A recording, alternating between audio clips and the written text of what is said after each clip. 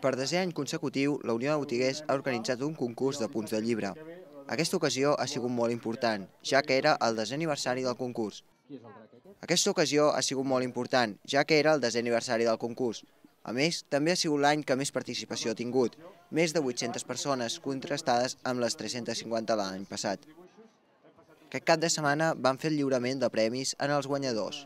Els participants eren d'edats molt variades. El premi ja ben conegut, un punt de llibre amb la il·lustració, vals de compres a les botigues de la Unió de Botiguers i un punt de llibre en forma de pastís.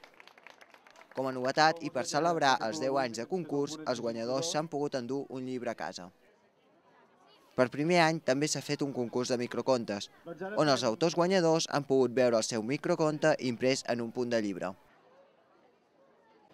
I el drac es va menjar Sant Jordi d'una mossegada. Va acabar el pare. El fill es va quedar pensatiu un moment. I si vingués un cavall a matar-me? Va preguntar-li. Els cavallers només existeixen a les llegendes. Tapa't bé amb les ales i dorm. El pare se'l va quedar mirant des del llindar de la cova per assegurar-se que es quedava dormit.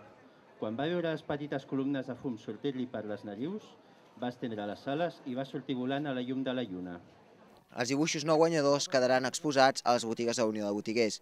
Els participants podran anar-los a recollir a l'establiment on està exposat.